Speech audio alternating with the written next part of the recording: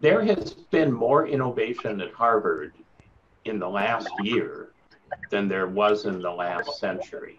The pandemic is a terrible human tragedy, but it's also weakened uh, traditional structures and enabled a tremendous amount of innovation. Um, at Harvard, uh, we're building on the work of Harvard's Division of Continuing Education, which had been doing online learning for a long time. I want to make two points about and important shifts that all universities face, not only in Bangladesh, not only in the global South countries, but in everywhere. The first is that, that universities and faculty think that distance education, remote learning, is a, a second class way of doing classroom learning. And they don't understand that if face to face learning is an orange, distance learning is an apple.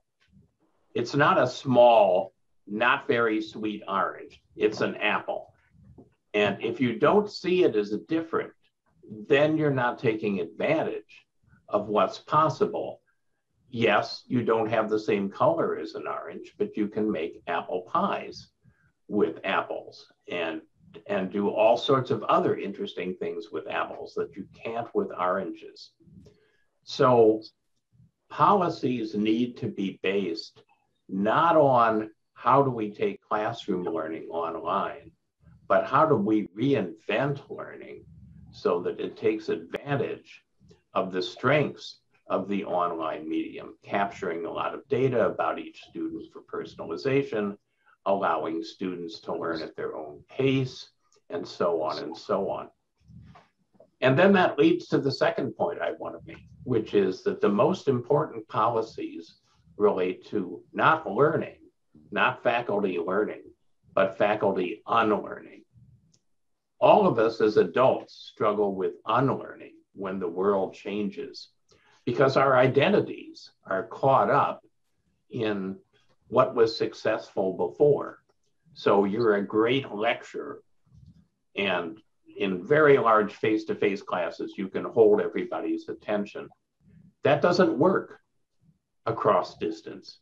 I don't care how good you are, 45 minute lectures, not going to work. So it's unlearning that and instead learning ways of, if you're going to lecture, chunks of 10 minutes and then activities that allow peer interaction that will work across distance synchronously. So unlearning is is hard because it's not just intellectual it's emotional it's social. It's giving up something that you care about in order to get something new that can be valuable for you. And policies need to stress unlearning as well as learning I think those are the two areas in which most universities that I see now are falling short in terms of their policies and their practice. But there are two trends that I think are important. One of them is moving away from summative assessment to diagnostic assessment that's formative for learning. So, for example, Macmillan, which is a publisher, uh, has a new system for higher education called Achieve. And it's really a student support system. It monitors all the student interactions that are happening online. And if a student is struggling or a student isn't participating or a student seems to be stuck, the system suggests resources immediately that can help the student rather than waiting until it's too late when they get a summative exam and they fail. But there's nothing that you can do about it.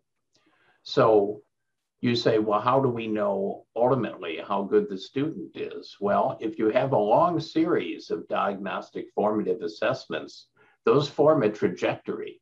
And the trajectory tells you as much or more about the student's accomplishments as a summative exam would. Think about if, if your student is doing a, an internship of some kind or an apprenticeship the person doing the apprenticeship doesn't give them a big exam at the end to see whether or not they learned something. They watch them every day and they help them to get better every day and they watch how fast they're learning. And that is the determination. So that's one big trend that I think is happening everywhere. The other is that people are moving away from um, sort of psychometric assessment with lots of little items and multiple choice and short answer to performance based assessment, where you're put into a simulation and you're asked to try to um, resolve the situation.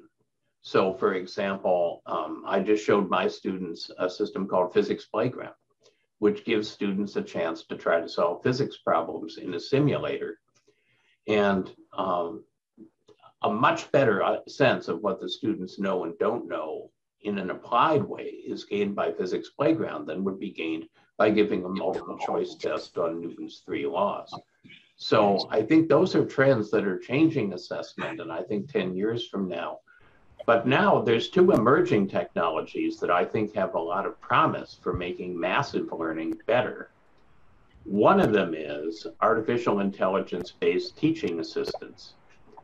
So Ashok Goel, who is a professor at Georgia Tech in the United States, has built and used a number of teaching assistants that take over helping students make social connections, helping answer questions, helping to tutor on difficult subjects, helping with library searches, helping with laboratories. And in turn, what that does is free the human professor to go much deeper in terms of, of relationships with students, personalizing learning for students, even in a very large group.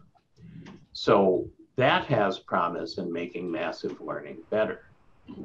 The other is something that I wrote, co edited a book about in 2019, and that is engineering learning. One of the great strengths of online learning is that we capture an enormous amount of data about learners um, automatically because we're interacting in a digital way. And that data can be analyzed and used to personalize learning. And I think those models are going to become significantly more powerful in the next five years because of advances in AI and in advances in uh, our ability to capture and analyze big data. So I think it's the most exciting time to be in higher education I've seen during my career.